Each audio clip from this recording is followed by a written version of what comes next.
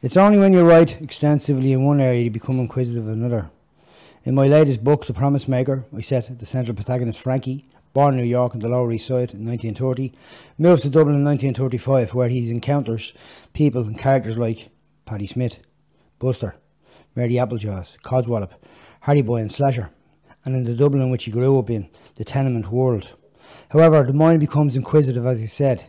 You begin to research in your mind of maybe what was it like for the people in this country, down as far as Wicklow, areas like that. What was it like for the people in the 1800s? As an investigating journalist, director, a writer, an artist, I became very inquisitive as to what were the people that probably came about the formation of a city in which I lived in, the people that emigrated from their own counties into Dublin in the 1800s. This is where the story begins in Wicklow, 1840.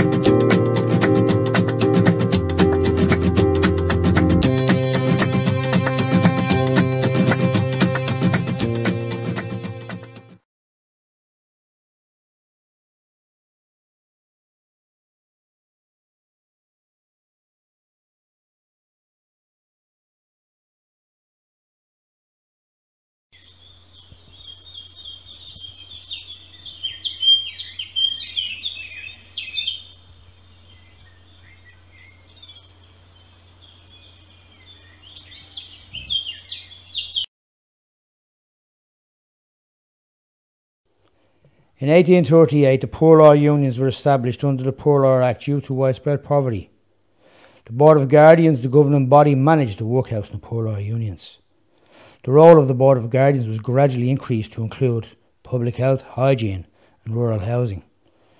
In 1898, Wicklow County took over most of the public health functions.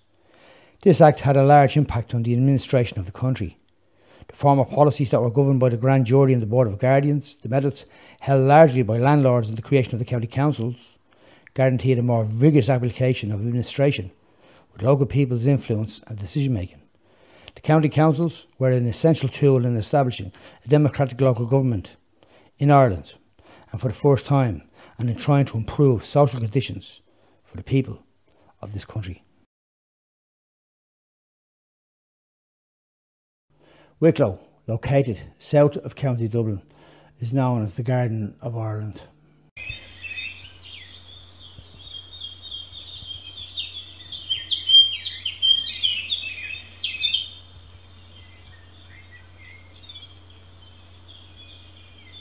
Ireland's beautiful garden.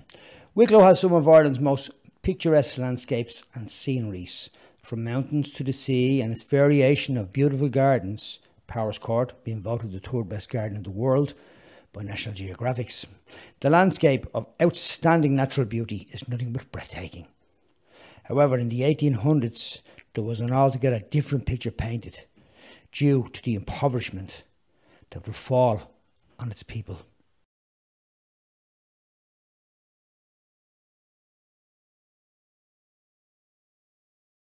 And one was in a place called Shillelagh.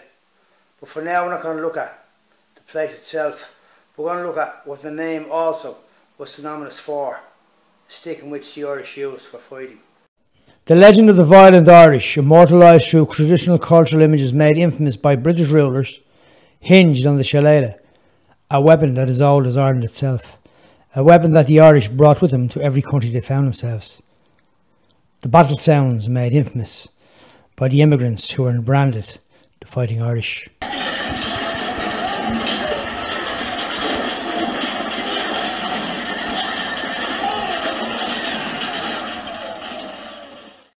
Ireland, the centre of Christianity in early pagan Europe.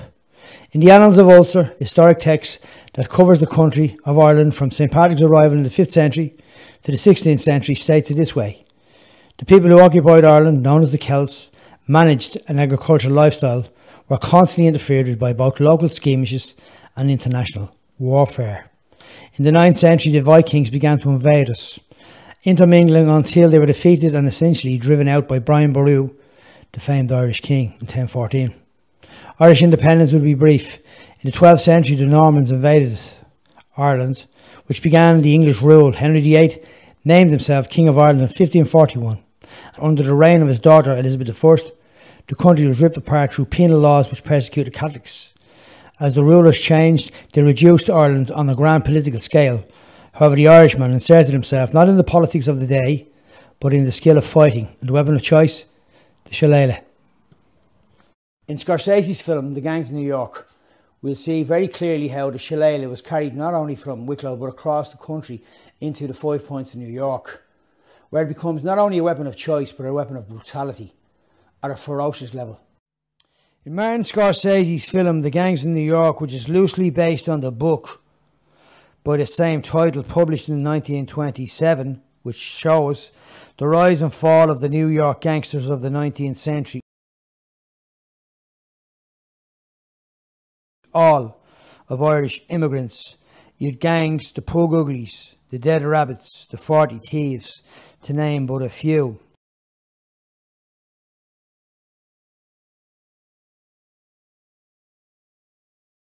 In the book The Promise Maker, Frankie states it this way Ma was Irish American of native, of this home away from home Irish city, full of every nationality under the sun. Her grandfather sailed the Atlantic on a coffin ship.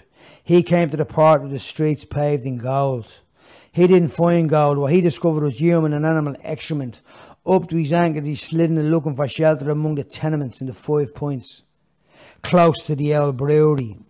Charles Dickens, in 1842, when visiting the neighbourhood, stated that it was a neighbourhood that was a close to explosion, spurred on by the immigrants from the Irish potato famine.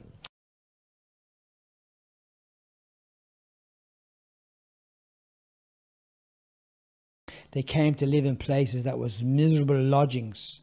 He stated that it was a way of right to left, of reeking ways of everywhere of dirt and filth, where such lives lived bear the same fruit elsewhere. Their coarse and bloated faces at the doorways have their counterparts at home.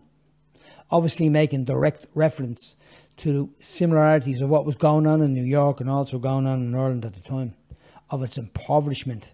In the film, we see monks, played by Brendan Gleeson, carry the shillelagh with them, which obviously shows us that the Irish didn't only carry themselves across the Atlantic, as Frankie states in the book The Promise Maker, but they brought their weapons of choice, the monks carrying his as a trophy. For he marked upon it every single blow and every single life that fell under its crushing power, only to fall under it himself, where he would see his own demise when Bill the Butcher, played by Daniel Day Lewis, would ultimately snatch it from his hand and crush it across his own head in a violent display of anger of the Irish in New York in the Five Points, a gang ridden neighbourhood where they would rule for over a hundred years. For was it not stated by the historians that it was a place of good time ladies would swing from rafters in oversized cages, mob ruled the streets, murder lurked in the open squares, in the infamous slum where they would rule for a hundred years, overcrowding centred on the intersection of Cross Street, Anthony Street, and Orange. In cramped tenements, the outhouses were too few and often overflowing. Sewage and pigs and animals ran in the street. The whole neighbourhood just stank, was reported by historians. But yet it was the shillelagh that would become the weapon of the Irish, not only in Ireland itself, but in New York. But back home in Wicklow, in shillelagh, something else was rising, not in the form of a stick, but in the form of the workhouse in 1842. The workhouse was designed in a particular way that it would be very uncomfortable for people to stay there. There was three workhouses in Wicklow. The new Shillelagh workhouse was erected in 1840 to 41 on a six acre site, half mile to the southwest of Shillelagh, designed by the Poor Law Commissioners, architect George Wilson. The building was based on one of the standard designs to accommodate 400 inmates.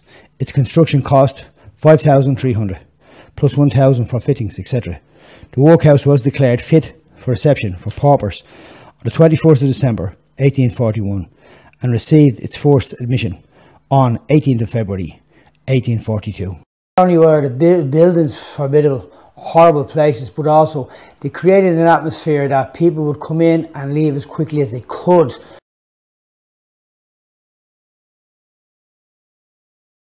Because they didn't want them to be dependent on the state.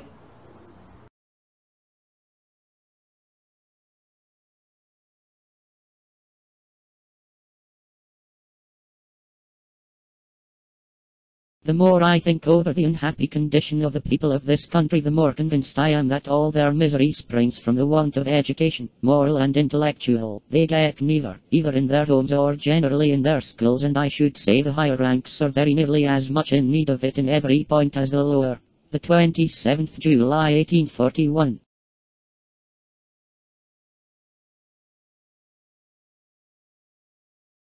Charlotte Elizabeth Tonna was born on the 1st of October 1790. She was the daughter of Reverend Michael Brown, rector of Giles's Church and minor canon of Norwich Cathedral, who contributed greatly to the development of Tonna's strong faith and devotion to God, the consequence of being raised in a Tory Royalist Church of England family. She was a popular Victorian English writer and novelist who wrote under the name Charlotte Elizabeth. She was noted for being a woman of strong mind and powerful feelings. Her works focused on promoting women's rights, as seen in her books The Wrongs of Women, and also in her book Protection, or in The Cradle and the Dog, in which the following characteristics quoted appears. Our greatest blessings come to us by prayer and the studying of God's Word. Harriet Beecher Stowe wrote of her memoir, Personal Recollections, 1841, we know of no piece of autobiography in the English language which can be compared with this in rich of feelings and the description and power of exciting interest. Both women worked extensively with the poor in this country. Elizabeth Smith, she worked among those in Wicklow from the estate in which she lived. The reflective viewpoint is noted in her journal, enables the reader to learn about the life and personality of the woman, and also of her family and all her daily activities. In what she set forward as her goals, achievements, and her concerns, including politics, foreign affairs, religion, and the role of the women in which the world she lived in. Elizabeth Charlotte was different in that she worked extensively with those in Dublin, and her sole reason and purpose was motivated by her simple belief in God. She was also found to be working with the Irish in the slums of London. Wicklow's closeness to Dublin influenced the country's formation to a large degree at the time. The soaring rate of inter-county migration between Wicklow and Dublin could not be found anywhere else in the nation. By 1841, one of seven moved to Dublin. The Census Commission recorded that women were among the greatest number migrating to the capital. It was so large that it distorted the balance among the sexes of those remaining in Wicklow. And as they set forth on their journey with a hope of a new life, the question is what awaited them as they arrived in the city that was branded the city with the worst slums in Europe.